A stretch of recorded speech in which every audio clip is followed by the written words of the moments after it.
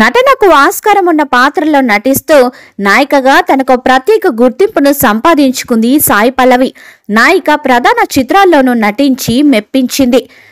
ఈ ఏడాది విరాట పర్వం గార్గి చిత్రాలతో ప్రేక్షకుల ముందుకొచ్చిన ఈ నాయిక ఇప్పుడు బాలీవుడ్ అరంగేట్రానికి సిద్ధమవుతున్నది.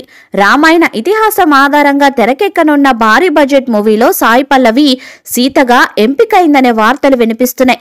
గతంలో ఈ క్యారెక్టర్ కోసం దీపికను సంప్రదించారు. అయితే తాజాగా సాయి పల్లవిని ఖరారు చేసినట్లు తెలుస్తున్నది.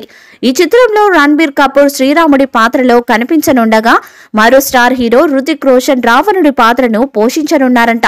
ఈ చిత్రాన్ని దర్శకులు నితేష్ తివారీ రవి ఉద్యావర్ రూపొందించబోతున్నారు. మధు మంతెన నిర్మాణ బాధ్యతలు వహిస్తారని సమాచారం.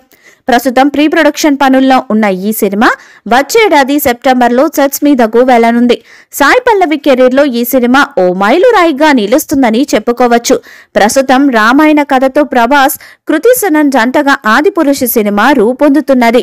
ఈ వీడియోపై మీ అభిప్రాయాన్ని కామెంట్ బాక్స్లో తెలియజేయండి వీడియో మీకు నచ్చితే లైక్ చేయండి షేర్ చేయండి కామెంట్ చేయండి. మరిన్ని అప్డేట్స్ కోసం మన ఛానల్ని సబ్స్క్రైబ్ చేయండి. అలానే పక్కనే ఉన్న గంట సిమ్మల్ని గట్టిగా కొట్టండి.